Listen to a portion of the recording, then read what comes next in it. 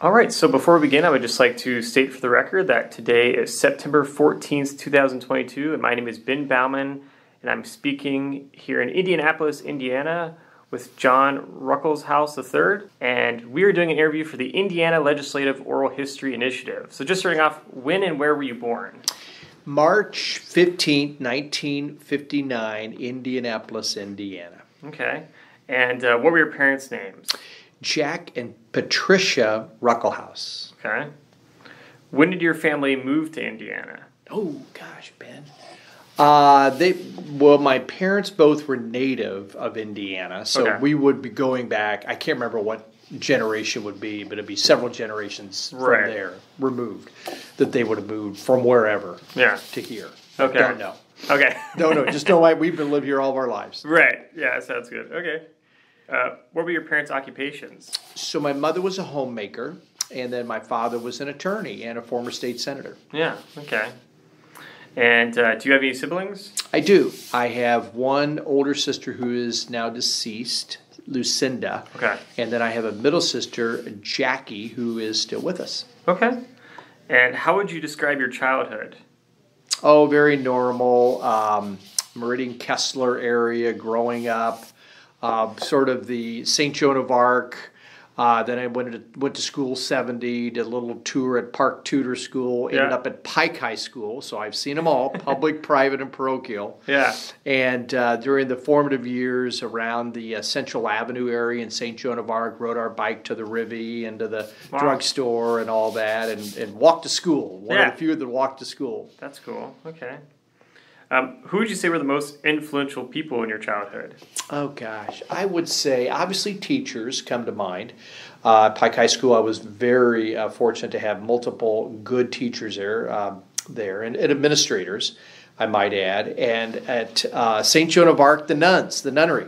It was Oh, very okay. strong back then. That was back in the late '60s, sort of the height of Catholicism and Catholic education. We had 50 kids in each class. Wow. So the nuns were judge, trial, and executioner with discipline. And they were swift, and I was warranted when they came my way. Wow. Okay. so, what did you know about your family's political beliefs growing up? A lot. So Yeah. grew up in a family that had been very active in politics over multiple generations. And most in front of me, of course, was my father, who's a two-term state senator. Uh, very much law and order. He was conservative, but he was more of a fiscal conservative, if you will. And then his brother, my uncle, William D. Ruckelshaus, who had a multiple layered career, both at the state level as well as the federal level. Right. And he was an environmental uh, steward, uh, if you will, and he was also conservative, obviously for fiscal, and probably more moderate on the social issues. Yeah. Okay. And so you had a yeah. So what did you?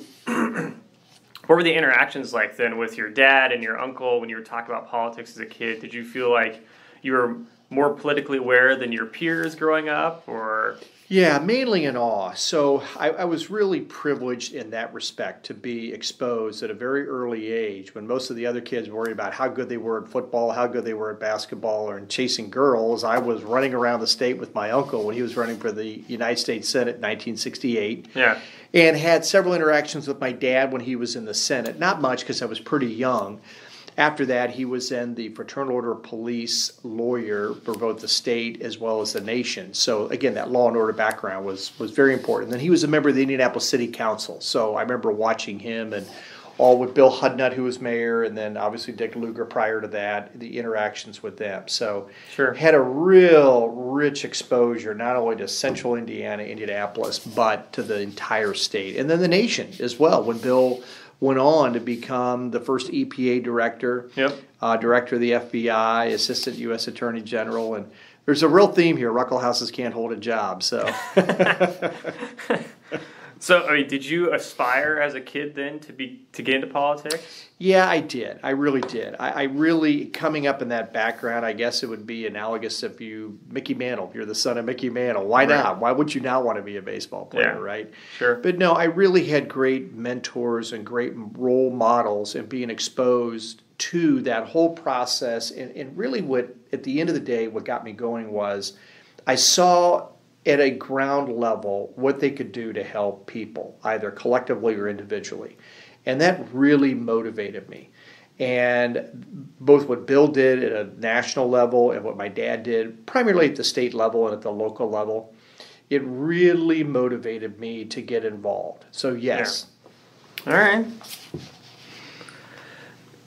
Now, how did you view Indiana growing up? I mean, obviously, I suppose you had traveled around the country a bit, given your uncles, you know, uh, in the Nixon administration, stuff like that. You know, what was Indiana to you?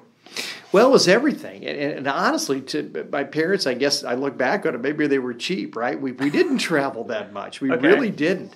So my uncle was yeah he went to Washington yeah. and then he took his family to Washington. So we'd go to Washington from time to time. Sure. So I, I, thoroughly enjoyed that, and that was kind of the other end of the planet, if you will. Yeah. So between Washington D.C. and Indianapolis, that was really it. Other than oh maybe an occasional Florida vacation for a spring break. Sure. Uh, Indiana was uh, really where I spent ninety nine point nine percent of my time. Yeah. Okay. And so, do you think like Indiana is like a like a like a special state in the United States to you, or sure did because that's your whole point of reference, mm-hmm. your whole focus at that point. Uh, never really aspired to go to the coasts. Yeah. Never really aspired to go to Europe at that time. That was something that was so far away. And yeah. No, it just really Indianapolis was in, in Indiana, and again having that exposure with my uncle and traveling the state in in two, or in, uh, 1968, when literally, if you think about it, the campaigning back then, there was no real advertising and certainly not an internet at that point. Right. And so, literally, you went around and the candidate spoke at the courthouse square every weekend, and I would be right by his side. And so that was that was the world to me. Yeah, that's cool. Yeah, interesting. Mm-hmm. Um, so, now, when did you go to college, and what was your major?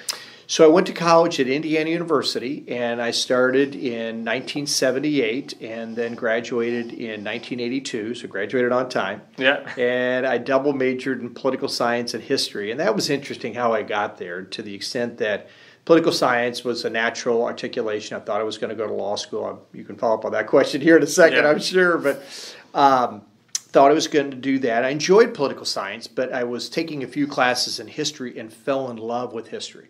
So I double majored in history, and had I had to do it all over again, I would have probably singularly majored in history for a couple of reasons. One, I just love history, and then number two, it was very interesting back in the day. This is really just outside of the window of the Vietnam War. And the political science professors then were very akin and hated Richard Nixon and equated me with my uncle and Richard Nixon. So they made life miserable on me. Wow. Okay. yeah, that's that's interesting. Yeah, it was very interesting. I mean, yeah, it's to see how like political legacies and families right. affect the the descendants. You know, that's um, that is interesting. Right, right. Um, so, jumping a little bit. So, did you like try to? I mean, how did you respond to something like that when someone's bringing up like your family's, you know, political history and, and putting that on you? Um, you know, what what do you do? Oh, I remember like it was yesterday. So this would have been in probably about 1981, and I had Professor Katz, who is a political science professor, brilliant, mm-hmm. just brilliant pro- political science professor, but clearly not a Nixon lover at that point in his okay. life. Yeah.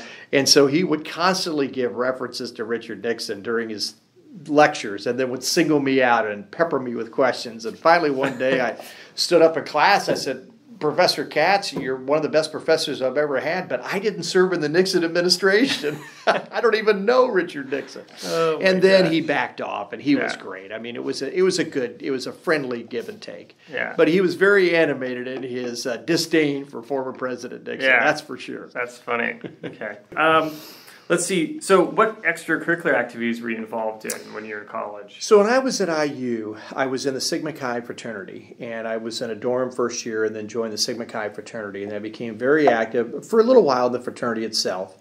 Uh, I always laugh and tell this joke. It's not a joke, but I was actually uh, showed up my senior year with a rather large car with a huge trunk, and I became assistant social chairman overnight only because my car held five kegs of beer with the trunk closed. That's the only reason why I oh got oh active there. but really, I was active with the Interfraternity Council, so what's called the IFC. So that is a body that is a governing body of all the fraternities, and there's a reciprocal for the women and the sororities. And so I was either vice one term as vice president of the IFC, and then one term as what's called the attorney general. Okay. So my job as the attorney general was the guy that would go around to the fraternities when the fraternities would get in trouble for whatever reason. And believe me, I was a busy guy at IU in this role, and try to work with be the representative of the fraternity with the administration to try to help the fraternities mitigate the damage of whatever they did. Yeah. Okay. That's funny. um, so, what were your goals then after graduating from undergrad? So I really thought, Ben, thank you for asking about that. So clearly, the government service was omnipresent in the back of my mind. I thought I wanted to go to law school, but meanwhile, I was in a family business. So my mother is a carter. So the Carter Lee Lumber Company, a family business literally just down the street from where we are right now, the state library, was uh, I was fifth generation.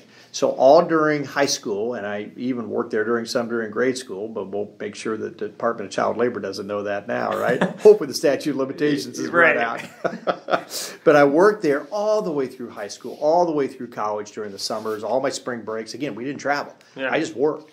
And I love that. I love the lumber business.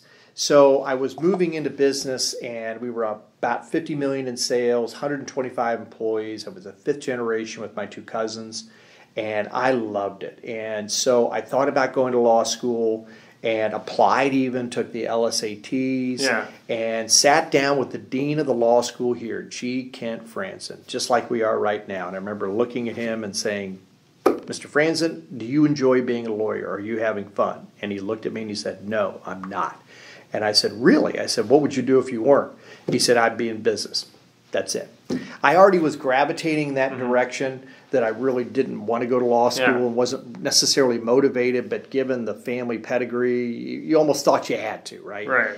that was enough for me. So I decided to stay in the lumber business and then became a precinct committeeman for the Republican Party. In the we just bought a house right after we graduated, and the north side, around Glendale, and started there. That's where I started both politically and then in my business career right there.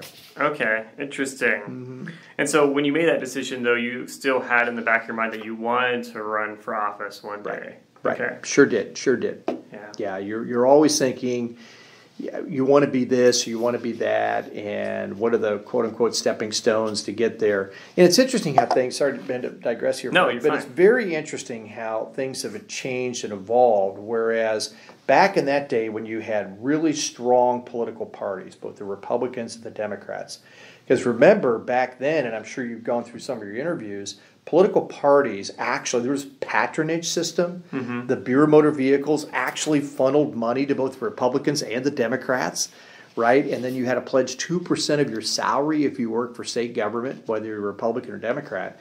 So political parties were very strong, and there was Yeah. very much a pecking order and a filtering system to work their way up. Today, they're a shell of what they were. That's interesting. Mm-hmm. Um, now, did your awareness of politics change a bit when you were in college, or Not really. It was uh, the 1980s. That was the, the, the rebirth of the Reagan, the conservative movement, if you will, in the United States. The country is either center right or center left in its particular yeah, aggregate ideology. And at that time, we had moved to center right. We were just coming off Jimmy Carter and high inflation, right? Uh, lack of jobs, uh, the oil prices. Anything sound familiar? Yeah. Uh, et cetera. So we were just coming off that, and, and America again wanted a more conservative value, and that's Reagan did well. So he was ve- very much a role figure, a role model for a lot of us. yeah, that's interesting. Mm-hmm. And what was like the campus culture like then when you were in college politically? Yeah, so there was some political, there wasn't much to be honest with Okay. you. I mean, think about this about the most political overt thing that was going on in campus when I was there was during the Iranian hostage crisis. Oh yeah, That was the only thing. Literally, there were marches, uh, but they were small. The fraternities would literally, in some of the dorms, would take bed sheets and unfurl them, supporting the hostages that were there. There was a little racial tension that was going on because you had some Iranian students that were there, primarily in the grad side, grad mm-hmm. student side, right? and so there was a little of that racial tension that was going on. Yeah. But for the most part, it was more of a nationalistic feel. That was the only politics. Keep in mind, this was at a time of very high interest rates, very high unemployment. So most of the people, I already had a job to go to, right? I had a family business, so I was very Right. fortunate. But most of my fraternity brothers and my peer group at IU were all concerned about getting a job. And that's what their whole focus was. And that was just the guys, the girls, the same thing. And the hot places to go was Texas. Huh. And the reason why most people matriculated down to Texas after they graduated, because that's where the jobs were, because the energy sector Yeah. was so hot. That's why they went down to Texas. And then most of them, obviously, 10 years, 15 years, henceforth, came back. Yeah, that makes sense. Okay. Um, now, when did you get married? So got we were, married, my wife and I. She's from Erie, Pennsylvania. Mm-hmm. She was a little sidebar story here how we met because that's important. Yeah. She was the president of the student athletic board. So we were both very active in campus activities, campus politics, if you want to call it, but Sure. campus activities. So at the president's house, when all the campus leaders would come, and the student athletic board was the main organizing board to get student enthusiasm for athletics. Well, it was super easy to get people motivated for the IU basketball season, right? Right. Super hard to get them motivated for the football season Yeah, yeah. conversely. So we knew each other all four years, and um, just kind of a crazy story. I'd been dating a girl for a couple of years, and that fell apart right uh, to at the end of my senior year or beginning of my senior year. And there's only two girls I wanted to take out. One was a girl from the same sorority that just dumped me. They Yeah. keep that in the record, right? For Yeah. the record. and then the other one was soon to be my wife, and I asked her out, and that was it Yeah. fell deeply in love, and so we were married a year later, Wow. Okay. 1983. Yeah. Interesting. All right. Uh, do you have any children? I do. I have three children, and the oldest is Drew, who graduated uh, obviously high school, uh, Indianapolis, and then went to Cathedral High School, and then went to Miami of Ohio and the University of Idaho for a grad program. He was an athletic trainer at Miami of Ohio for the hockey team for about Oh, wow. 11 years. Loved that, really enjoyed that, but college athletics is really changing, and it's there's a real high burnout rate for that job. Yeah. So now he's in a medical or medical product sales Oh, okay. in uh, St. Louis, Missouri, doing very well. I have a daughter, Maggie, who went to Cathedral and then went to Butler University and then Michigan State Law School. So there's another Ruckelshaus in the legal field, Yeah. right? and she's in Washington, D.C. as we speak, working for Bloomberg. Oh, okay. And then my last child, uh, say least but not uh, the the back but not the least, is Jay. Jay graduated from Cathedral and then went to Duke. Uh, I got a full ride as part of the AB Duke scholarship. Sadly, he uh, was injured between his senior year in high school and freshman year and broke his neck and became a quadriplegic. Okay. Uh, spent a year at the Shepherd Center in Atlanta, Georgia, so I would go back and forth every week uh, to, to when my wife was down there to, to rehab to get back what he could. Didn't get back much, so he's still a quadriplegic, but an amazing story because he was able to then go to Duke, graduate number one in his class, Wow. Won the uh, Truman, the Marshall, and the Rhodes Scholarship. Wow. So he's a Rhodes Scholar. He spent uh, two years in Oxford, England, and literally just last year finished up and got his PhD at Oxford University. Wow. Okay. So yeah, he's Pretty cool. graduated and he's home with us now in a, in a business startup. wow. Okay. So saving a little bit of money, and uh, I guess we're investing in him now. yeah, I guess. there you go. Yeah, that's how life works. Uh, Um, okay, so tell me a little bit about like uh, when you first decided you're going to run for the General Assembly. So I've had two stints of the General Assembly. So the first time was when I was kind of an interesting way to go, right? So the first time that I ran was in 1990. I'd been a Republican precinct committeeman. I was doing that stair tapping, right? And again, these are very strong political parties, and you have to talk to everyone because back then the trick was you don't want to be too ambitious because then you get sent to the end of the line, if you will, right? Mm-hmm. So I started out as a precinct committeeman, really was a precinct committeeman until we just moved out of Marion County. And then I was Washington Township Advisory Board, sort of that local lowest level of government. Did that for one term. And then I ran for the Indiana House of Representatives in the slating. That's back when we had multi-member districts. Yeah. So the city was uh, the north side of Indianapolis, basically, 38th Street to Binford Boulevard to Michigan, uh, Michigan Avenue, all the way up to 465 was the district. There were three of us, and I defeated in the slating because there were four of us running. I defeated Bill Spencer, who is since deceased, good guy, uh, but he was best friends with the party chairman. So that didn't really Yeah. put me in great stead with the party chairman, Right, right? right. So then I was elected and uh, served between 1990 and 1992, of which there was the redistricting year. And there was a lawsuit then that said that you had to break up the multi-member districts and that they need to be single member, one man, one woman, one vote. Okay. And so we went to single member districts. The Democrats had control of this of the House then, 52 to 48 uh, membership wise. And literally, when they drew the districts, they went down my street and drew my house in with Paul Mannweiler.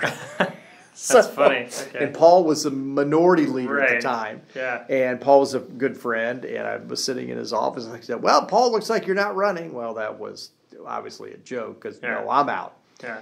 So that's when I decided to run for the state senate in the spring of 1992. So I went through that process again of slating because that's when slating was everything, right? Sure. In the political party, both Republicans and Democrats did it in Marion County, Allen County, I think Lake County, and I won the slating big. Teresa Lubbers, uh, who was in the slating process, who I beat in the slating, decided to run against me in the primary, and that was the year of the woman in 1992.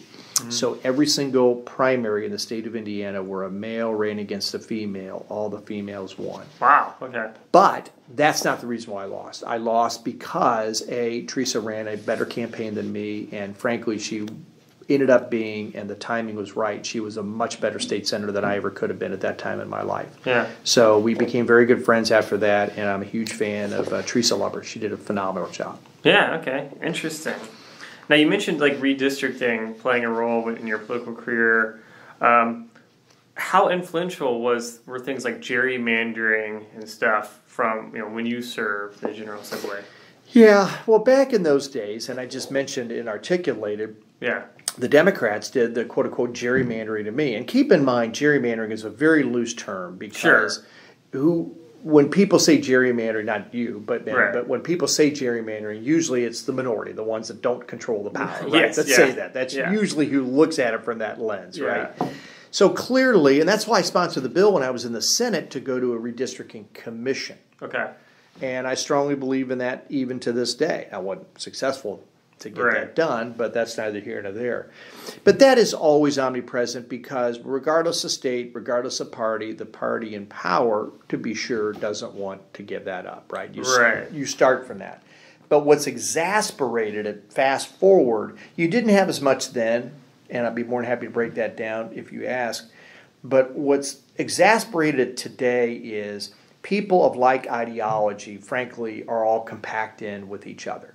So, for example, more progressive or, or liberal Democrat leaning folks clearly living in the urban and really somewhat suburban areas. That's really the battleground in America. And then the exurbs, which would be like Noblesville, Cicero, uh, Westfield, et cetera, and then rural tend to be Republican. Right. And so people, it's very hard to draw these districts right now, Yeah. right? Because if you if your goal is to have a competitive, all 100 competitive seats in the House, all 50 competitive seats in the Senate, mm-hmm. then you really do have to gerrymander. Mm-hmm. Because you've got a Greg Porter, for example, who lives in literally an 80% Democrat district. You'd have to draw him all the way through Carmel mm-hmm. to make it competitive. Yeah. So, Yeah, yeah, it's a it's a tricky thing on Right. like both both sides of the spectrum. Like, how do you how do you do that? right, right. yeah. Um, okay, so now when you were campaigning for the General Assembly, did you do uh, a lot of like door to door? Oh, yeah. So Yeah. how how was that? So, a couple. Well, first of all, back when I was in the House, Yeah. it was a very strong Republican district. So, if you won the slating, nobody filed against you in the primary from the Republican side, and then usually it was a seventy plus percent Republican district. So it didn't. Ha- it had less emphasis on the general election in when I was in the House in the early 90s. All of it was on the slating. So that was a function of there was maybe 110, 115 committeemen that you really had to do one-on-ones with, and I'd sit in their homes or living rooms, Yeah. et cetera, and have coffee with them, et cetera, et cetera. So that was important then. Fast forward when I came back to the General Assembly in 2016, yes, it was a heavy emphasis on door to door. 15,000 doors Okay. we knocked on. And they were, that was us. Yeah. Uh, we had a small team. Uh, we never employed the big masses of people because people wanted to see you, the candidate. And I, it's to me, door to door, there is no substitution. There's no greater, there is no more better time of your use of your time than that. Yeah. That's interesting. Did you have any kind of like funny experiences going door to door? Oh yeah. Well, first of all, let me tell you a, a funny story about uh, when I was in slating. Yeah. So you're, I was really focused on slating, and, and to that point, nobody had ever gone to see one on one the the committeeman. Usually, they thought just send a mailer out or my service in the party was enough, whatever. But I went to see them all one on one, individually, and nobody had ever done that. So I literally was in the middle of the or two thirds of the way through the campaign, and I was sitting down to, a, you know, I knocked on the door, and the couple let me in. I'm sitting there, and they got the dog, I got the baby, and the couple, and I'm just talking. I said, "Well, I'll see you Saturday for slating," and they look, "Saturday? What are you talking about?" I was in the wrong house. Oh so, so we had a great conversation, got their vote Yeah. in the fall, but that didn't That's matter. funny. Okay. So yes, during the 2016 and then of course the 2020, there were a lot of great stories. So Yeah. keep in mind, this the district that I represented Yeah. was the old north side of Indianapolis. Okay, Okay. so basically with Butler Tarkington, the district was the southern part. Binford Boulevard was the east, up to 116th Street, over to, to the Greek Orthodox Church, and then all the way back down to Butler Tarkington. Very classic suburban district in America that was in a in a great state of trans great state of transition. Roughly a third Democrat, a third Independent, and a third uh, Republican. And the Independents were the most important part of the district. If Yeah. you won the Independents, you would win the district if you kept your base. Yeah. It was as simple and as complex as that. So we really focused on the independents. And it was a district, Trump's first reelect, that Yeah. didn't necessarily like him. Yeah. And then in 2020, really didn't like him, right? Yeah. So a lot of times you would get this, what party are you? You'd get the question, right? What Sure. political party? Because Trump had kind of faded. Yeah. And I, I got kind of tired of that. And I always look at him and say, I'm a member of any party you invite me to. and they'd laugh like you just did right there, Ben. Right. And nine times out of ten, Yeah. we'd have a really good conversation. Yeah. And then we'd be okay. Then I had one conversation that always will stick with me probably the rest of my life. I was uh, talking to a lady, and it was on a Friday afternoon, and it was over the Arden uh, neighborhood area, which is over, I think, about 71st and College area. Okay. And she came out and she was in tears and arms were flailing and it was all about Trump and she couldn't sleep and he had ruined her life and things were just awful and, and how could blah blah blah. And I listened to her and, and, mm. and really I, I understand. And I looked at her and I had a piece of my campaign literature with my son on it in a wheelchair and I mentioned that earlier. Yeah. And I said, ma'am, I get it. I understand. I know how you feel and I'm sorry you feel that way. But I have a quadriplegic son, and nobody and nothing's going to ever get me down. No one individual's ever going to get me down. We're going to plow through this, and we're going to be stronger and better because of that. And she looked at me and gave me a huge hug, and that was it. Yeah. And it just is that what, what I think I'm getting at in that story is politics is emotion. Yes. Yeah. At its core, it's emotion.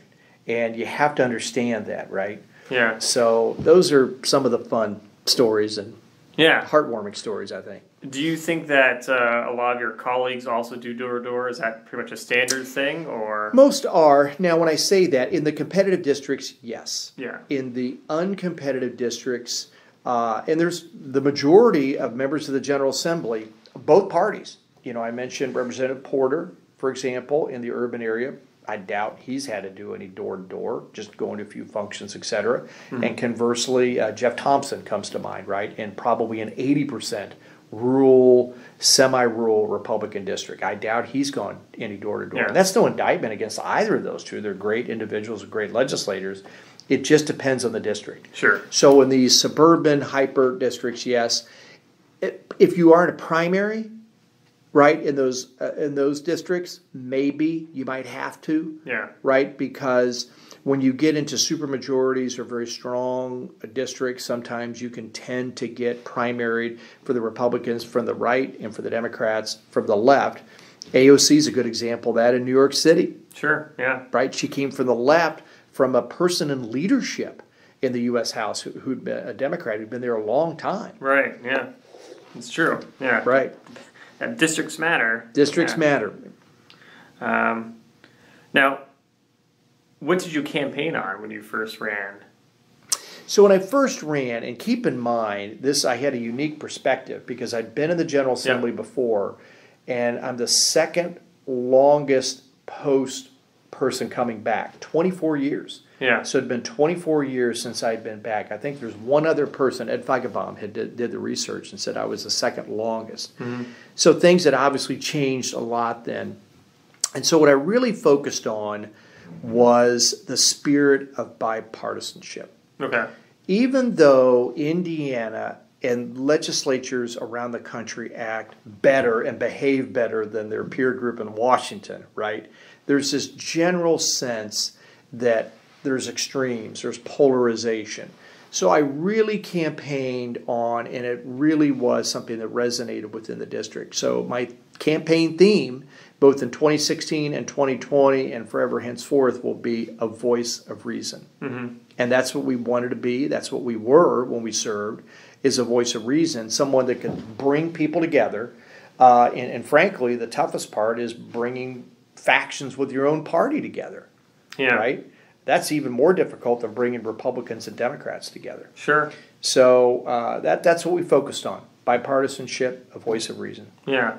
Now, when you served, did you feel like you were able to, you know, bring that to life in the General Assembly? Oh, absolutely, absolutely. And I think what helped me was the fact that I had the experience before. I knew some of the representatives and senators Yeah. going in. I had served. We didn't talk about this. I had served in the Daniels administration. From we'd sold the lumber business.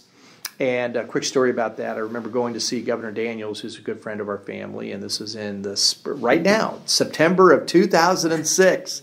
And we sold the lumber business, and I said, Governor Daniels, I'm, I'm ready to come back to state government. I'm ready to come back to public service. He said, Great, we'd love to have you. He said, What are you doing? And this is in the governor's office. I said, Well, actually, I'm unemployed. He said, Perfect. He said, Go down the hall and help run, or oh, next door here, and help run the Department of Workforce Development. They run the unemployment section, and you're qualified. True story. Oh my gosh. So I did that, Sam, for two and a half years, traveled the state, went to all 92 counties. So a lot of those legislators, I had already been to see them in their districts and had worked on unemployment and economic development issues with them in their districts. I already had kind of that basis of a relationship with them, credibility, if you will. And so that helped out a great deal Yeah. and I was able to come in and then help leverage that, right? Because actually, they looked at me when I came in. It's amazing. Most members of the General Assembly, because they truly have come from the outside world, they don't have a clue how state government works. Mm-hmm. They really don't understand all the different agencies, how they interact, and then more importantly, how the governor's office interacts with all those agencies. Yeah. So I was able to kind of cut through that for them, if that makes sense. Yeah. Okay. Yeah. That's cool. Sounds like you probably got to have a lot of interesting experiences then, Yeah. traveling around the whole state. I did. That was a lot of fun. I saw I saw a lot of things. If you don't mind me digressing here No, for a sec, because if you think about it, what I saw between two. So I started out with unemployment within the Daniels administration at four percent. When I left, it was ten percent. Yeah. Mitch will tell you to this day that was my fault, by the way. but and he's probably right. But what I saw firsthand was the true uh, uh, mitigation, not mitigation, but, but transformation of the Indiana economy. We are still heavy manufacturing, even still to this day, but manufacturing is topping out. So I saw and was active when Guide, Borg Warner, Visteon, Whirlpool down at Evansville, all these major, major plants were shutting down, right? That was a great recession. They were shutting down for that reason and they were offshoring. So I saw firsthand all these thousands of workers that were being displaced less education, where were they going to go? And so our job was to try to retrain them, right? Yeah. Through some programs we had through the Department of Labor or help steer them into a position for the jobs of the future. There wasn't many jobs. I mean, call center jobs were premium jobs back then at mm-hmm. ten dollars an hour. If Yeah. you think about it. So I was able to see what I believe was the beginning of the opioid crisis, because the opioid crisis had its origins in these economic transformations when you took a major employer out, Scott County, for example, you took major employer out and you had third, second, third, fourth, fifth generation of family that worked there, and that's all they knew Yeah. and they were resilient to change, very resilient to change.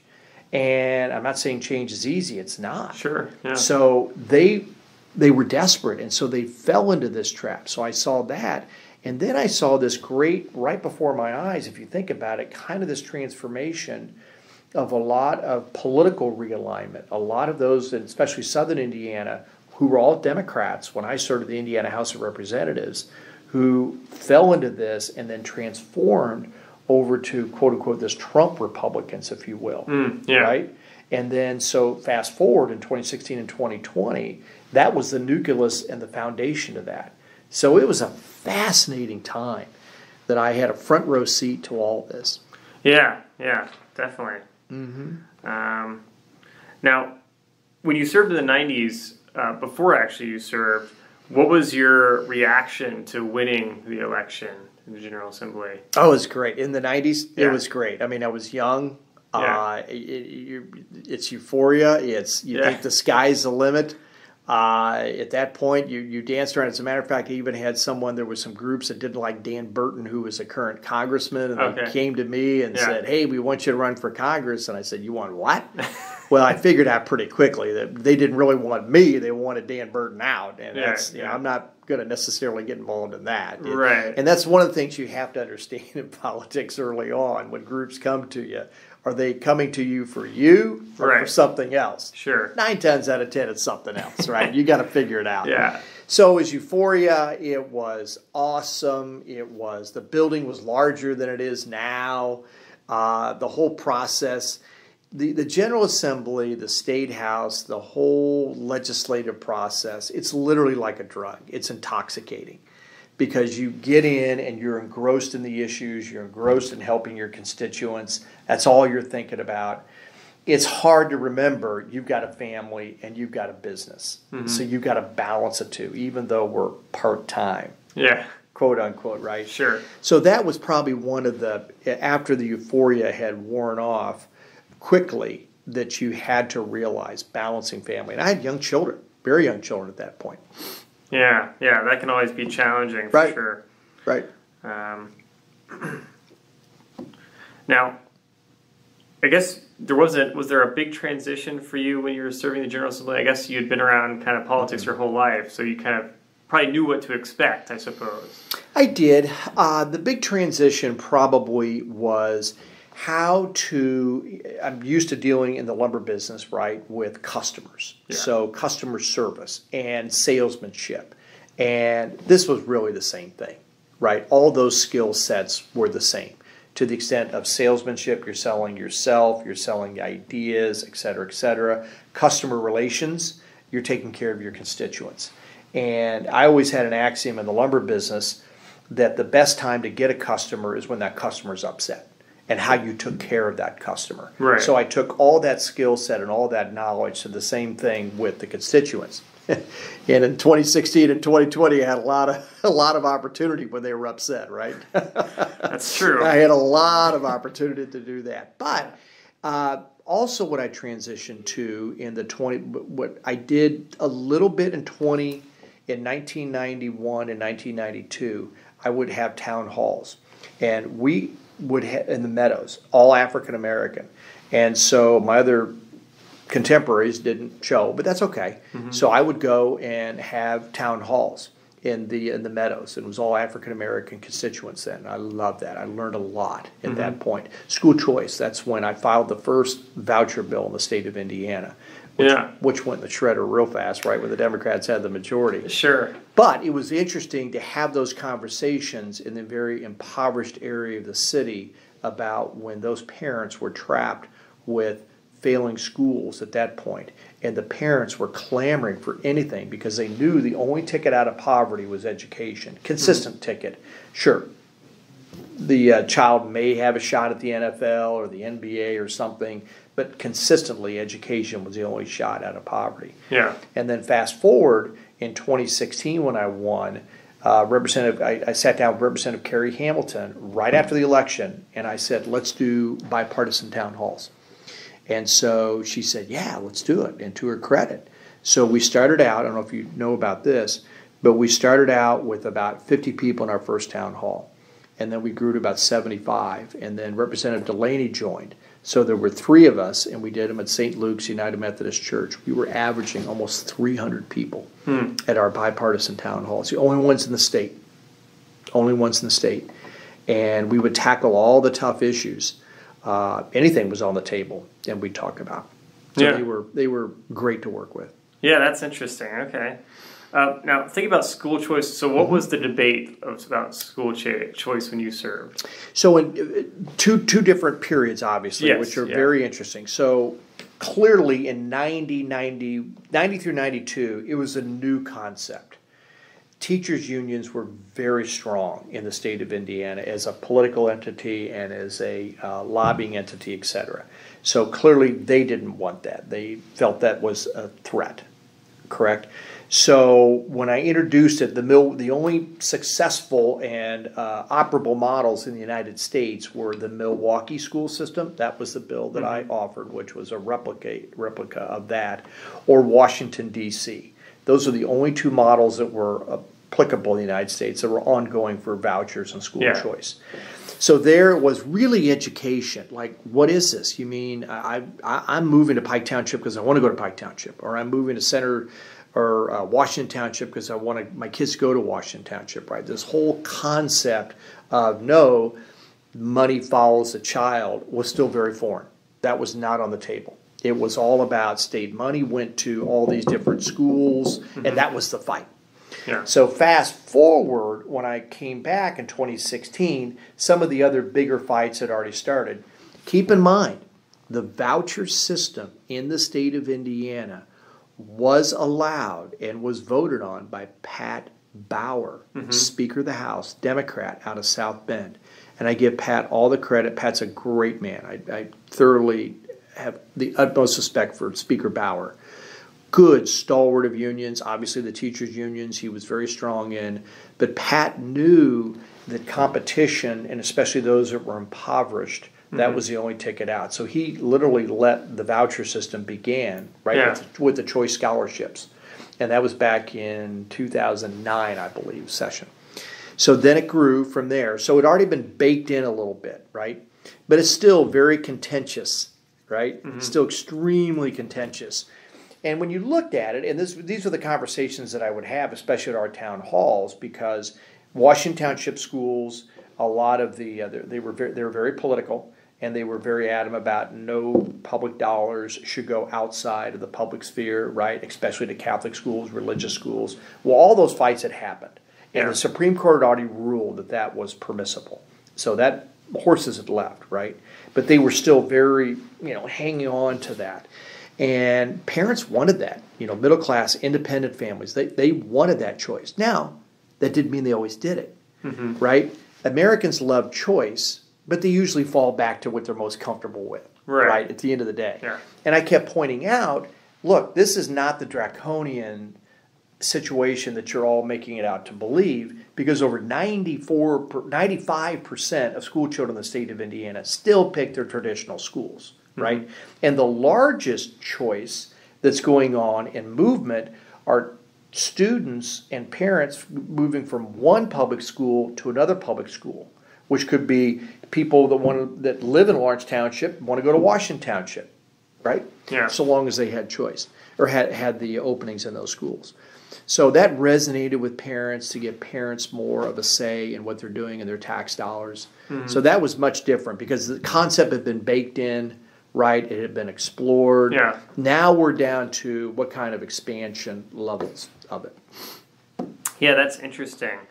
Um, and so, how would like the with the school choice concept and stuff, how did like the, the busing system for, for kids, how that work? Because if, if a kid's parents, you know, they if they ride the bus to a school, do they Yeah. go to a different bus system or how that work? Well, it's still. I mean, it's interesting you bring up busing because when I was serving in the early '90s, yeah. that that's still the segregation issue. When you say busing, Right. we were just coming off the heels and the bruises and the battles of that. Sure. Yeah. So even though that was settling down, right? So then you get back. Really, the transportation wasn't much of an issue, Mm-hmm. right? Because people, are, it's a much more mobile society. Yeah. A lot of parents just decided to do their own right transportation if, if they're going to make that kind of a choice. Sure. Or uh, the uh, the public transportation. I think the only literally little debate that we got into is I believe the public transportation d- is responsible for taking some kids to the Catholic schools yeah. right? And so there was a little bit of that, but nobody really pushed too hard on that. Sure. It was it was it was de minimis. Yeah. Uh, do you remember the first bill that you'd sponsored or authored when you served? Oh, in the so clearly yes, in the House of Representatives when I was there, it Yeah. was the school voucher Okay. bill. Yep. And then the second bill that I introduced was the privatization of prisons, so to Oh, allow private operators to come in, right? And uh, it didn't pass then, but eventually it did pass, and then obviously the voucher did pass. So those were in the House, uh, the areas that I was focusing on. And in the Senate, I worked very hard on sort of that going back to that workforce space and trying to find again. We talked about before the redistricting commission. I worked on that. I also had a, um, I was very sensitive about the environment in our district, and I had a, uh, a public forest uh, bill that was going to be sort of a 100 year long term plan for our public forests. Uh, one of the things that I'm very uh, keen about is we only look at state government into the future the next two years for the next budget Right. And that's about all we can see. And there are so many things that are coming at us and changing in demographics and artificial intelligence and so many things that are really a threat slash an opportunity to Indiana. I wanted to look 25, 30 years out. What, mm-hmm. what are the major s- obstacles slash opportunities for the state of Indiana? Yeah. So one of the things that I really focused on was a piece of legislation that I filed. I passed the Senate, uh, passed uh, passed the House, and then the uh, got tucked away in the governor's office. But it was the real world career readiness. And what I found when I was traveling, the origins of that is when I was traveling the state, and I saw literally in front of me the education that we have, and it's a very siloed system, and that try to connect the education to the workforce of today and tomorrow, and you can't have silos. So it basically was the integration of the community college system, Ivy Tech slash Vincennes, into the high schools. So every single high school had Vincennes and or Ivy Tech in there, and it was all Yeah. seamless. So if you want to stay one extra year, you could graduate at, at, at the end of your 13th year with a high school diploma, an industry recognized certificate, an associate's degree, zero debt, Yeah. and a job. Yeah. And I firmly believe that to this day. As a matter of fact, I would take it even to the next level because I think this is what Indiana desperately needs because you need businesses to be integrated into that as well. Mm-hmm. So that I passed, and what, what killed it at the end is the educational industrial complex that I call it, right? Yeah. They felt like they were going to get shortchanged. I always joke Ivy Tech thinks they've got a better football team than IU, right? Some years they do. Yeah. But the point on that is is that it's got to be it's got to be seamless. So I worked on that. Another bill that I had uh, passed the Senate, it got stalled in the House, was the Indiana Service Program. I don't if you heard about that, Ben. No, I don't think so. So the Indiana Service Program basically was going to target. We're going to start out as a pilot, and it was going to target a very diverse group, both geographically and socioeconomically, as well as racially. And it was going to target that summer period uh, students that were rising between their junior and senior year in high school, and they were going to be housed at a university. And it was going to be a small 100, 200, just something that was manageable so we could try it for a couple, two or three years and see how it would work. Right. So for the first couple, two or three days, they were going to work on an Indiana farm together.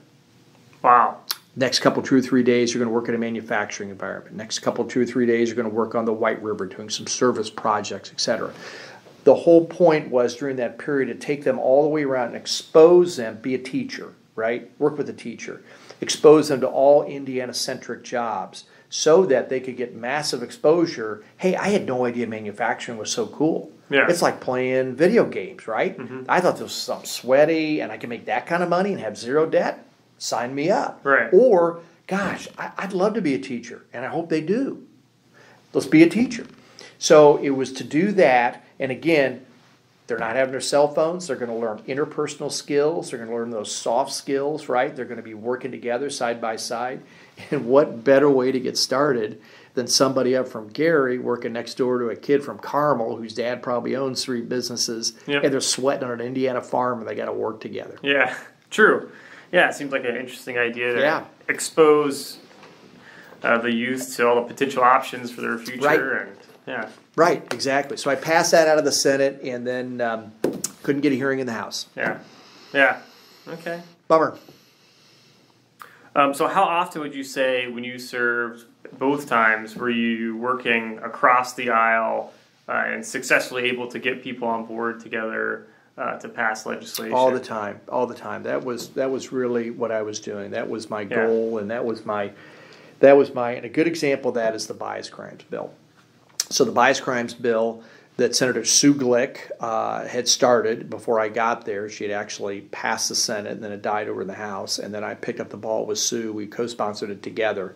Uh, all three or four years of my uh, legislative, actually three years because it passed uh, in 2019 uh, Sue and I stepped back to let another author carry it over. Sometimes you have to do that, right? Sometimes you have to get some new blood in there to get it done.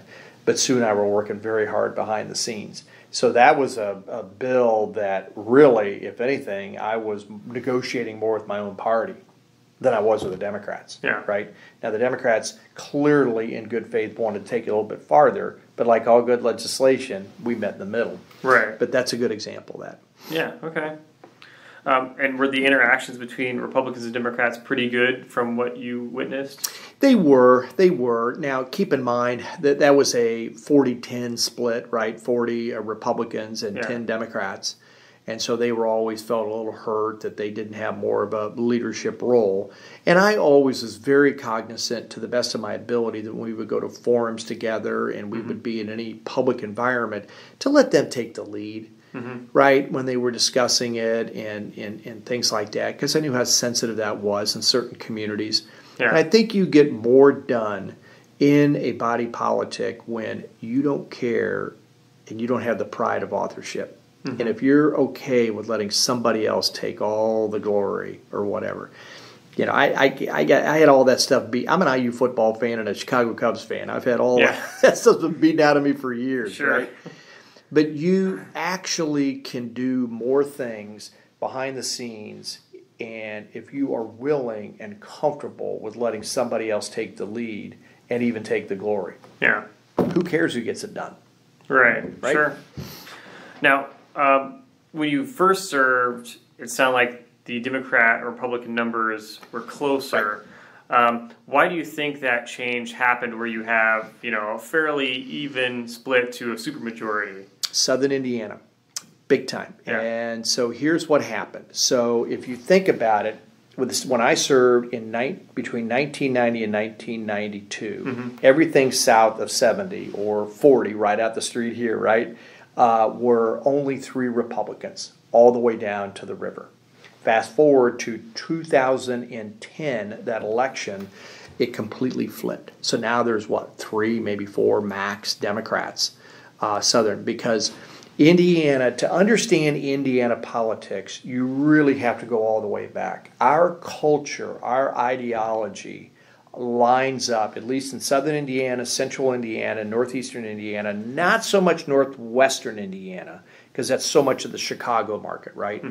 But the rest of the state lines up with the South ideologically, politically, culturally, we line up more with Kentucky, Tennessee, and even Alabama than we do Illinois for sure, right? Or even Michigan, Minnesota, anything else in the Midwest. Yeah. So you could see where that made a lot of sense that even though they were Democrats, They were conservative Democrats. They were socially conservative Democrats.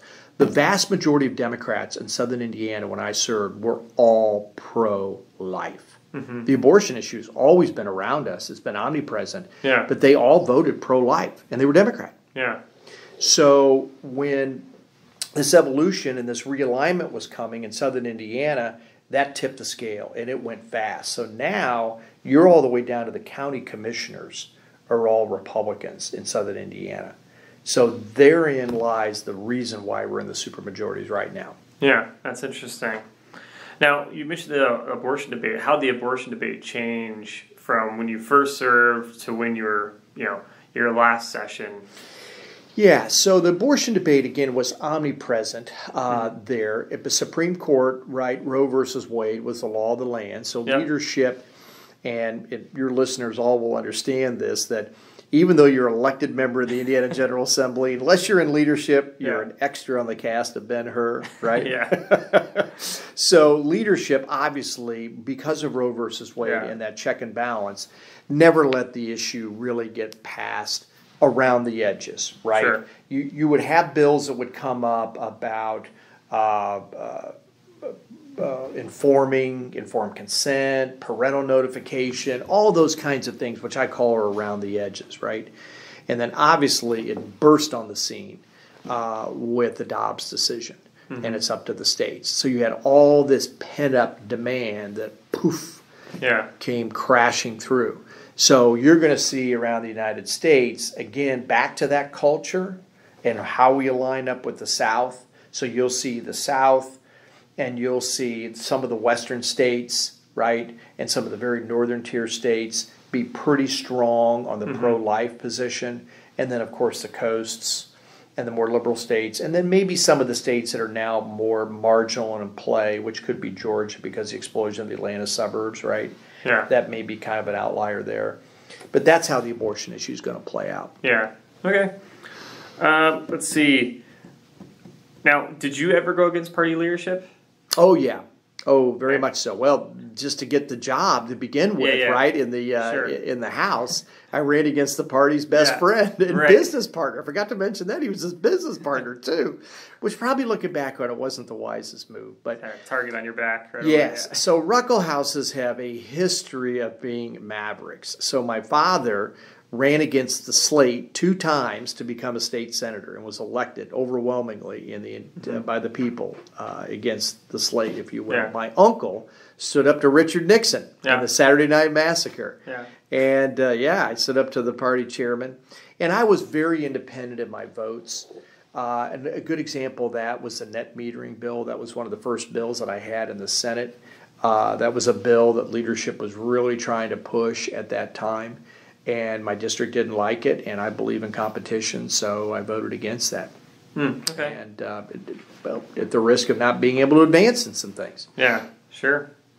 Uh, what were the differences between the House and Senate from your perspective? Oh, they were uh, gargantuan. Yeah. Uh, so the House, let's go in the reverse order. So the House, obviously 100 members, you're elected every two years. The whole concept behind that is, and the founding fathers' concept is, they're the ones, the budget starts there, they're the ones that handle the money, so mm-hmm. they want them closer to the people. That's the whole origin of that. And the Senate, they want as a more thinking body, right? Well, Yeah. people will challenge me on my thinking process, but that's okay. so the House is much more political. So you are used to a lot more strategy games, second reading amendments, right? A lot more challenges of the chair. The chair is always fair. Spe- uh, Speaker Phillips would always say, "The chair is always fair." Yeah. Uh, great man, by the way. And so uh, you, it was very political. So at the beginning, all the way to the end of the House, it's a much more political environment. It's also more fun. It's a little looser.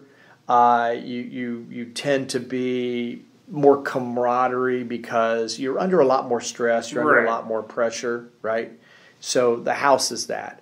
The Senate is a little more collegial to the extent that you have four years from which to work. You rarely have challenges to the president of the Senate, right, uh, which is uh, the lieutenant governor. You rarely have challenges to that. Sure, it's becoming a little more uh, as the Democrats or the opposition party, the minority party, and I don't blame them, but as the minority party, obviously is trying to flex their muscle a little bit, and as more of the state issues are coming down to the state levels, like abortion, for Yeah. example, uh, you, it's becoming more second reading uh, amendment uh, heavy now, where Democrats or the opposition party is trying to get people on the record because, or trying to get their point across on the second reading. What most people don't realize until you get out, yes, if you're doing that to get a political point across and to get stuff for a direct mail piece the next campaign, sure. But you walk out of that building, nobody pays attention to that. Yeah. Nobody does. Uh, let's see. How influential would you say lobbyists were when you served? About the same as they are right now. Yeah. Honestly, I don't think that has changed hardly at all because clearly what they do and what they bring to the table is subject matter experts, Right. expertise in, in certain areas, and, and conduits of information. Hmm. And especially, as I mentioned, they know state government and how to navigate state government. Very few of the individual members have any exposure at all to state government. Yeah. It's not an indictment. It's just they've been busy as Sure. farmers, lawyers, or teachers, or whatever. Yeah. So that hasn't changed hardly at all. Yeah. Uh, do you think when you served, do you think like campaign donations or gifts from lobbyists, do you think that affected how people would vote or? Ah, not really, because maybe maybe a little bit more back then. But the campaigns now are horribly expensive, Yeah. and really, it's the rise of these outside groups, right, that have come in because most of the the lobbyists and the local money is capped. There's there's only so much that they had to bring to the table, right? Mm-hmm. So you really don't have that as much. Right now, it's more of the caucuses. So the caucuses are probably have grown in stature as the political parties have weakened. Okay, here's what I mean by that: is and it doesn't matter whether you're in the majority or the minority Yeah. in either chamber. Your job as speaker, as minority leader, as minority senate uh, president, and president of the senate is to go out and raise money for your caucus. Right, right. And then your caucus decides which districts to get behind in a reelection. So you are one of the main engines of financial acumen, right? Yeah. To that candidate, depending upon who it is. So it's not discriminatory to majority or minority or Republicans and Democrats. They both do it. It's just the way it works. Yeah. So it's very interesting phenomena as political parties have declined, caucuses have risen. Yeah. That's power. interesting. Yeah, it is interesting. Fill the void. Yep. Pretty much. Mm-hmm. Um, now, based on all your experiences, what would you change about the legislative process? You know, I if I had a magic wand, maybe that's the, the question, Sure. right? If I had a magic wand, Ben, I, I would like to see as a part of redistricting the net result to have more competitive districts. Mm-hmm. I do think that it's better to have more competitive districts. You're still going to have a majority of one part. It's just because of where people live, Right, right? course, That- that- unless you're going to unless you're going to contract with Mayflower and start moving people around, right? It's just not going to happen. So I think that is one thing because you do look at things differently when you're in a competitive district than when you're in a heavy Democrat or a heavy Republican district. And you are, just by sheer human nature, more likely to compromise than if you're in a heavy Democrat or heavy Republican. Right now, Republicans, obviously, because we have the supermajority, catch all the flack, right? Because you don't mm-hmm. compromise, you don't do this. I could take every one of the Democrats and these strong Democrats, same thing, mm-hmm. the exact same thing, all over the country. Yeah. So it's not just Indiana. Oh, yeah. Yeah. So I think it's that. I think number one. I think number two, I would invest in LSA. I think that the legislature is very frugal and wise, of course, to be frugal for the taxpayers. That's always a good thing. But it's kind of a misnomer to even say that we're a part time legislature anymore because the demands and the shift from the federal government down to the state government, mm-hmm. right, is becoming more and more omnipresent, and people are demanding that because you can get more done, right? And that's a good thing. But the tools that legislators need uh, are becoming stronger. So, for example, and again, frugality is good. I work for Mitch Daniels. I get it, and I'm cheap too. Yeah. But but the point is, when you've got one legislative assistant sharing with four state reps, right, and one with two or three for state senators, and then conversely with LSA, I would like to see invest in a research arm with LSA or contract out with Yeah. some entity so that I could, let's say, for these big picture issues that I would really like to study more, right, and have more in depth analysis. Because LSA is just hats off. They work Herculean, but they're only human and they can only do so much.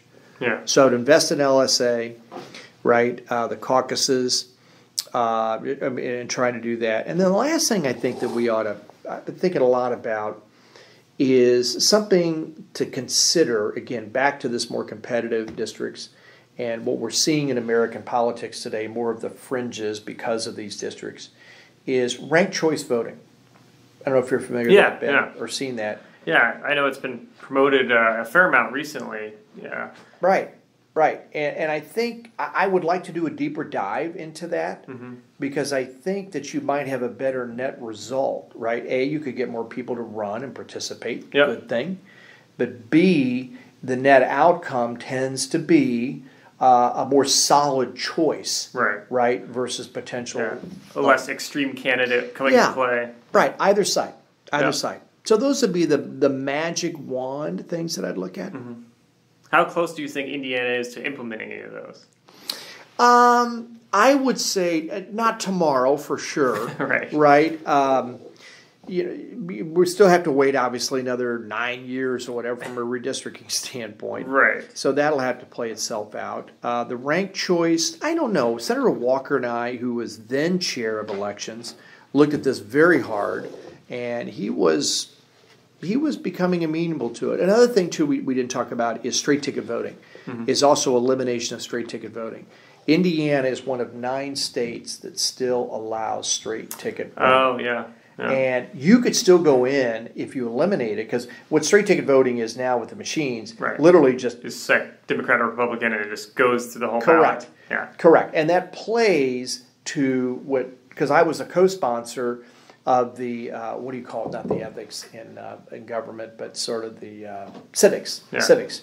We need to be more engaged, right? And it's Yeah. shocking what's coming out of our schools today, right? That they have very little knowledge of civics, and it behooves people to get more active and, Mm-hmm. and engaged in that. So, yeah, I would love to see that. You can still go in and vote for every Democrat, every Republican, every Independent, no problem. But you've got to look at every single office. Yeah. Okay. Um, what would you say were the most controversial legislative issues when you served? Well, in the first term, um, in, in, in the House, oh, you'll love this. And one of the most controversial in '91, obviously redistricting the budget, but uh, local measured service. Okay. What is that, right? Yeah. So that's back when landlines. There was no cell phones. Okay. Maybe that was at the infancy of it, but Yeah. landlines. And the telephone company was saying, "Hey, we can." In parentheses, make more money, but instead of unlimited calls, right, for X dollars per month, let's charge you per call. So the argument was, hey, if you don't make many calls, you're not going your telephone bill is going to go down. Well, seniors hated that, Yeah. right? Because seniors that was their lifeblood to talk to grandkids and everything Yeah. else. So that blew up. That was really controversial. Right. Uh, there was also uh, end of the life issues that were going on, withholding of uh, hydration, nutrition, and hydration, end of life decisions. That probably was sort of a subset of the abortion issue for social conservatives, right? So that was going on. Uh, Evan Bayh was governor, and the creation of FSSA was very controversial, which was a combination of multiple state agencies to create Families and Social Services Administration. yeah. So that was very controversial, right, back in the day. uh, labor wars, we had a lot of labor wars back then. I started the labor committee, and basically what happened then is what, because organized labor was very strong, right, in the private sector. Not so much about the public sector. Teachers union, yes, but today you've got the explosion of the public sector, and the private sector unions are way down. So manufacturing, that's who we are, was heavily unionized. So if they couldn't get it at the bargaining table, they would always come to legislature and try to get it. Sure. And there were big fights over that. So fast forward to when I served, obviously education, the vouchers, soon to be teacher pay, right? This whole concept about that, the budget. Um, solar panels, which is at net metering, right?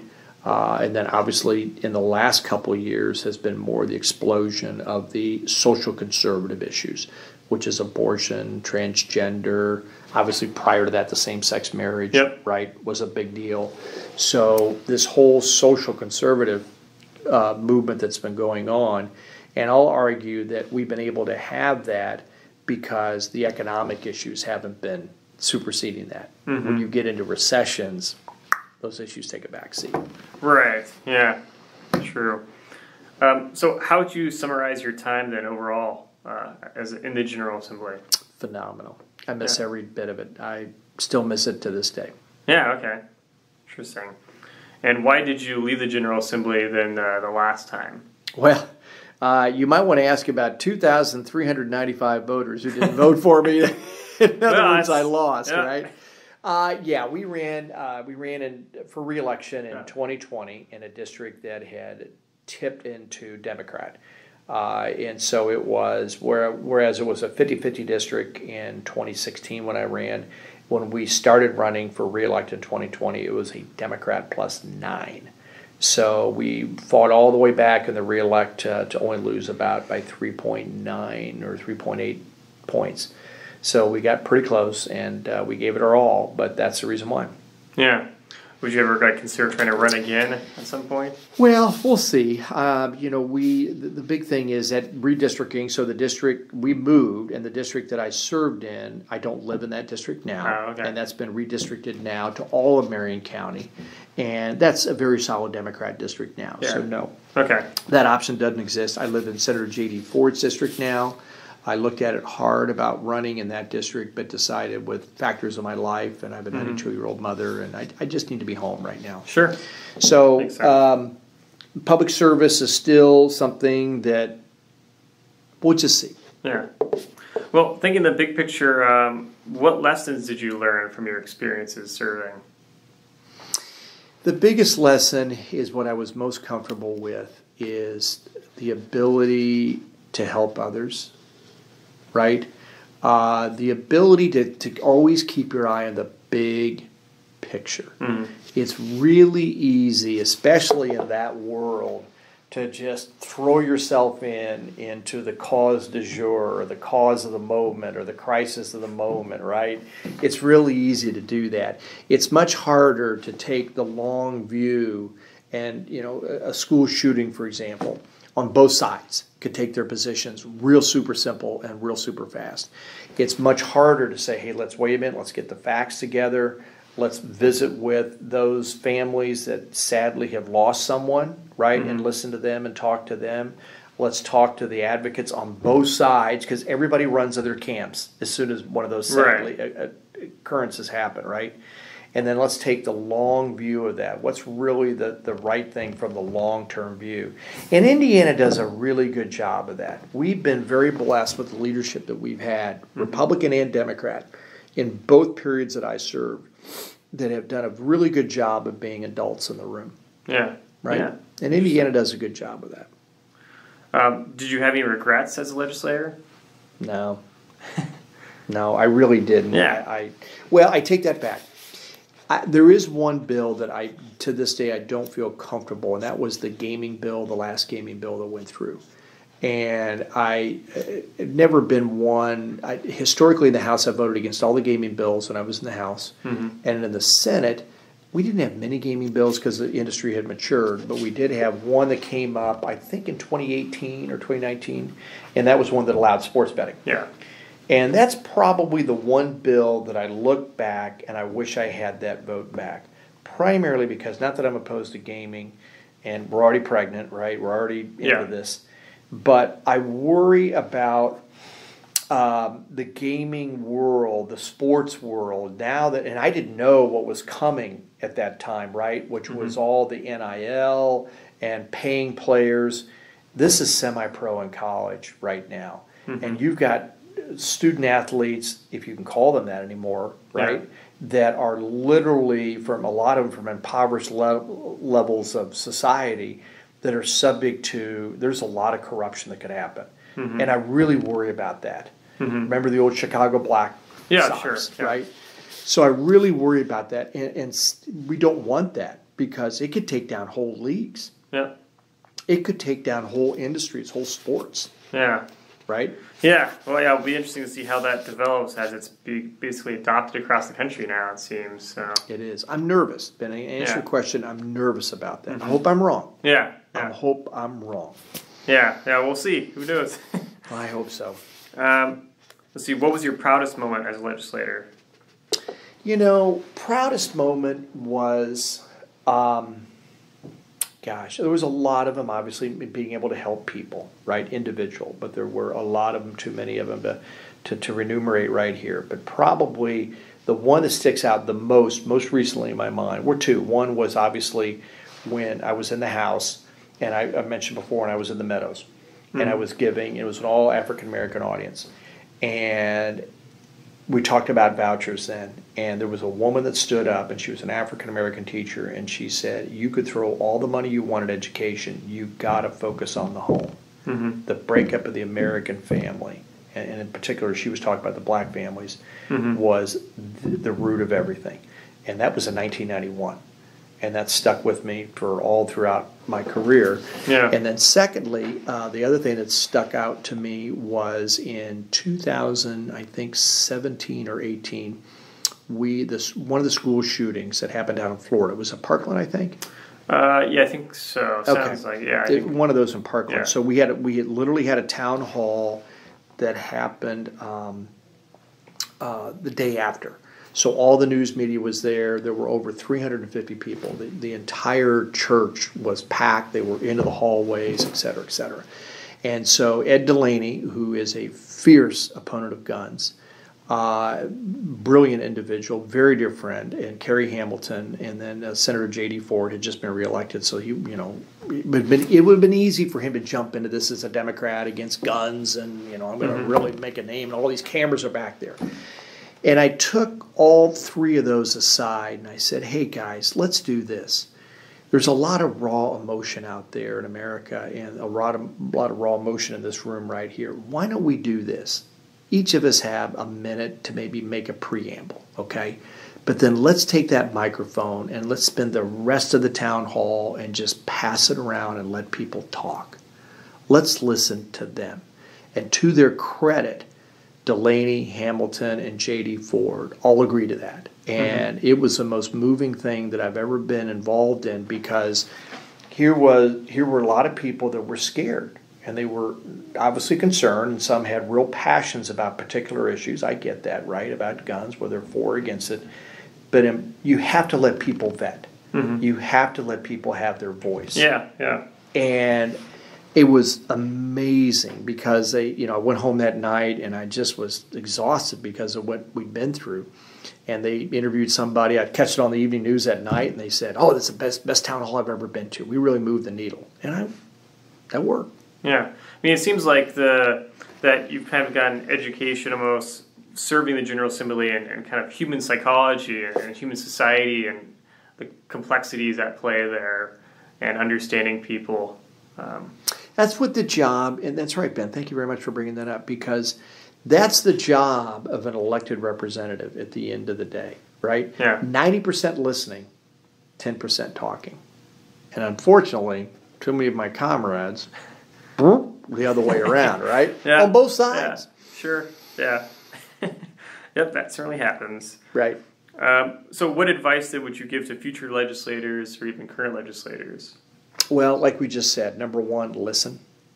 I would say listen, probably three to one, four to one ratio, right? Let the other person, let the other constituents talk.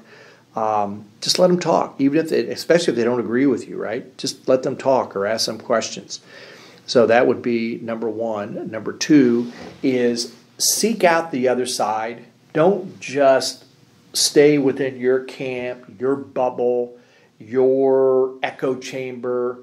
Uh, literally every day, I read the Wall Street Journal and the New York Times, and the, the joke is, is when the Wall Street Journal and the New York Times agree on something, you got the truth, right? Yeah. and and see the other side. Look at the always look at the other side, not just your side. Make sure you do that. Make sure you get out. Empathy. Always have empathy. You know, no matter how difficult you think you have it, there's always somebody literally down the hall that's got it 10 times worse than you do. Right? So have that. Start from there as a basis. Long term, think long term, not just short term about the next election, about the next budget, but literally think long term. You're not always going to accomplish it, right? But you got to be thinking. So, for example, one of the things we really studied was the impact. We know in Indiana that there are a million jobs we've got to replace in the next 10 years. But we not now, if we were going down that road, we'd all be worried about demographics and all kinds of things. But we now know 35% of those jobs are going to be wiped out because of artificial intelligence. So now we know of the remaining jobs, that puts more pressure downstream on our education system. Back to that integration of the Ivy Techs and the Vincennes, right? It, the high school degree is just not going to cut it anymore. It's going to take on the job training, it's going to take vocational education, Yeah. right? Interesting. Um, so, what, in your opinion, then, would you say is the main purpose of the General Assembly? The main purpose of General Assembly obviously is education. I mean, it- think about it. It's sixty-two percent in the aggregate of the budget. So it's K through twelve plus higher education and Ivy Tech and Vincennes. So it's education. You know, it's your basic roads, uh, infrastructure, right? Uh, on the business side, that's always uh, a, a crapshoot because you're you're basically at Vegas, right? What do you bet on? What industries do you bet on? You know, foreign, Yeah. domestic, or whatever. Hopefully, more domestic than you do. So you've got that, but it's basically that, and education. Again, back to back to the education, telling Hoosiers uh, about the realities of the world and giving them the tools and getting out of the way. Yeah. um, what would you say the public does not know about the Indiana General Assembly and how it operates? Well, they all think uh, you, you'll laugh at this story. They all think we're overpaid and and um, don't do anything. So, for example, when I was in the House, we went to triple overtime. We uh, there was no money, and we the budget and redistricting, so we didn't end up to June or July. We didn't finish up to July, so they Wow. blasted us in the paper that. Um, we you know two hundred thousand dollars wasted and all that kind of stuff, right? Because there was a similar story about the special session we just went through two hundred fifty thousand for the abortion issue, or whatever. So they all thought we're overpaid, wasting money, and sitting down there and all this stuff. So literally, I had my state rep plate on, and some woman, older woman, gray hair, came up right next to me at the stoplight, gave me the finger, honked her horn. Wow, there you go. yeah, so it's kind of the similar, sort of a mini Washington, right? Yeah. you know, I, I like my state rep, but I hate the legislature. I love my congressman. I hate Congress. Yeah. Kind of yeah. thing. That's pretty. That that's inherent. Yeah. So, how would you say the, um, how would you say the people of Indiana have changed over the course of your lifetime, culturally and uh, Diversification, uh, much more diversity. Uh, you're getting in the in the urban areas, uh, central Indiana, obviously, right? And this is really what's going on. It's a microcosm of America, and that's why I, I think if you look at this from a ninety thousand foot level, when these cultures are coming together, right? Uh, and it's like templates and plates; they're just friction, right? So that's why you have a lot of this socioeconomic strife that you do right now. We had this 100, 110 years ago when literally the Poles, the Slavs, the Eastern Europeans all emigrated to the United States, right? They happen to be the same skin color, but you remember all the little Italian neighborhoods and Yeah. all the everything that went after them, and you guys couldn't you couldn't mix within. You can't marry an Italian. Are you kidding me? You know, mm-hmm. et cetera.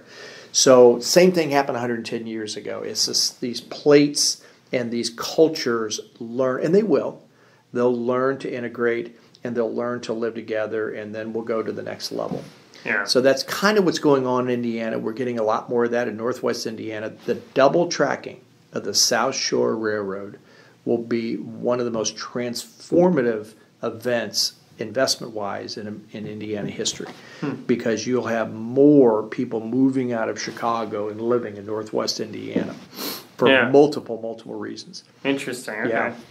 So that, What hasn't changed about the people of Indiana? ah, their spirit, Yeah. Hoosiers care. Hoosiers care. You know, if there's ever, a, glad you asked that one because if there's ever a catastrophe, if there's ever a crisis or disaster or something, all the way down to the grand, granular level, what happened to us when our son was injured. I mean, Hoosiers just pitch in. Mm-hmm. And I can't tell you how many tuna casseroles I had stacked up on my kitchen counter, right? Mm-hmm. That's just who Hoosiers are. They're, they care at the end of the day, they're emphatic. Yeah. Yep, that didn't change. It never will. Um, final question then for you. Uh, what do you want the people of Indiana to know about their influence on the General Assembly? Stay involved, stay active. Um, be sure, well, number one, get to know their rep or their senator.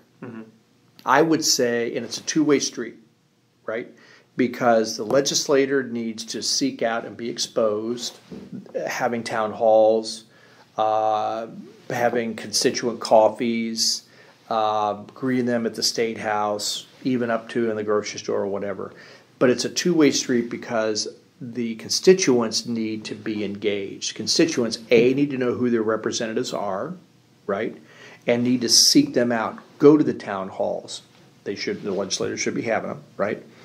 Go down to the legislature and watch a, a hearing, right? Physically, be at the state house, sit up in the gallery. It's fascinating, right? Or watch it online. Now it's extremely interesting and extremely easy to point and click, right? So it's a two way street. Get engaged. Yeah. Well, uh, that's all the questions I have for you. Is there anything that I didn't ask about that you want to mention, or have you cover it all for the most This part? is it, man. This is fantastic. I mean, we you you've seen as you probably interviewed a lot of people. There's been a lot of colorful people Oh, sure, yeah.